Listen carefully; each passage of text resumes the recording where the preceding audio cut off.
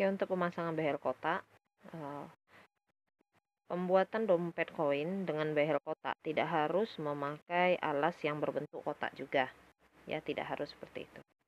Kalau ingin membuat alas kotak, lebih baik SC selebar dompet behel ini begini. Perhatikan tangan saya ya. Nah, gitu.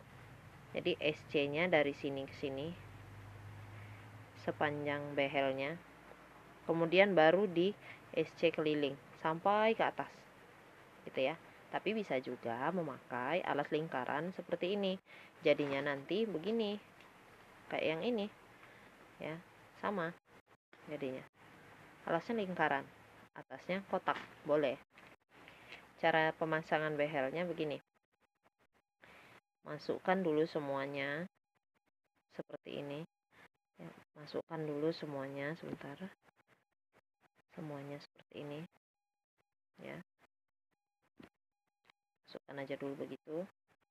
Dari bagian sudut kita nah ini.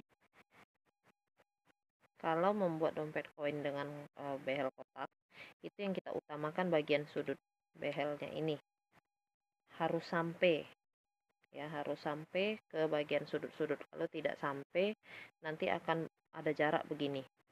Nah, gitu ya jadi lentikan di atas behelnya dilentik-lentikkan dulu. Nah, untuk mengukurnya.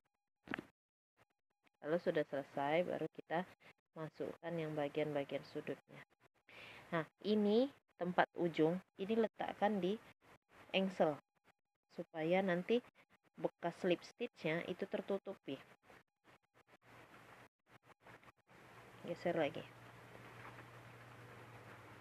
oke.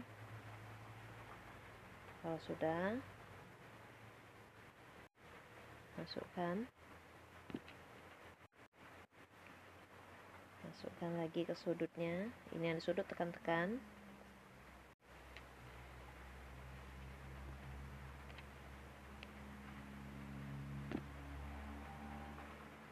Tekan-tekan ya Nah, kalau sudah dilentik-lentikkan dulu, ini jadi gampang memasukkannya. Tuh ke engsel dulu. Baru ke bagian sudutnya. Nah, begitu.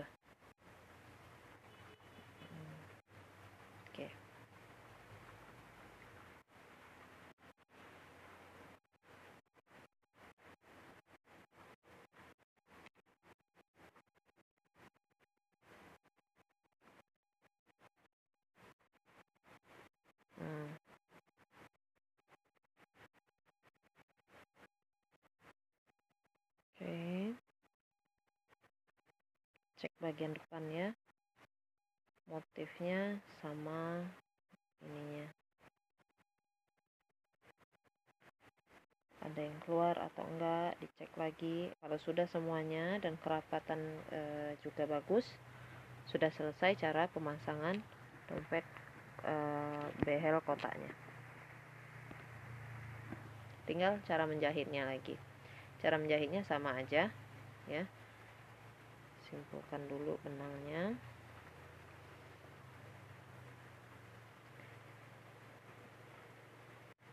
Selipkan dulu benangnya dari sini.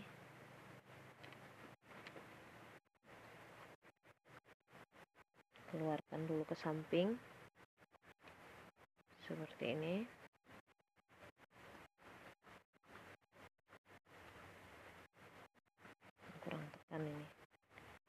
sambil ditekan-tekan ya. Oke. nah ini bagian yang ini nanti bisa kita rapikan. Ya kita rapikan lagi. Saya masukkan benangnya secara menyamping. Kita zoom dulu ya. Oke. Ini bantu dengan gunting biar masuk. Jadi bekas benangnya jangan sampai keluar. Kalau takut bekas benangnya keluar bisa diberi lem ya. Lem kayak lem uhu atau e, lem aster gitu boleh. Nah kalau sudah begini sama seperti tadi di behel oval ya. Kita tinggal masukkan benang di bagian sini. Jadi menjahitnya mulai dari engsel. Nah, telunjuk ini merasakan tempat uh, keluar masuknya jarum. Jarum itu menjahitnya harus mepet mepet ke dalam behel. Jadi jangan di sininya. Mepet mepet banget ke dalam behelnya itu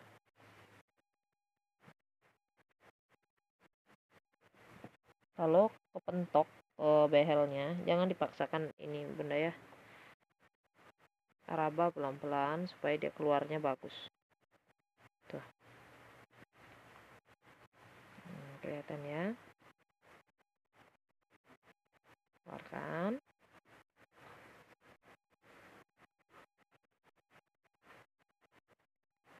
Masukkan lagi ingat keluar e, jarum ini harus mepet. Mepet ke sini. Tuh kelihatan? Mepet ya. Harus mepet ke behelnya. Tuh. Nah, harus mepet keluar ke situ.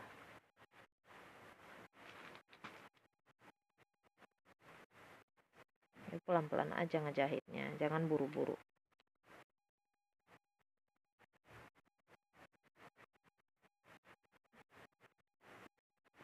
Oke, silakan lakukan berkeliling Bunda supaya nanti behelnya bisa ditutup dengan rapi.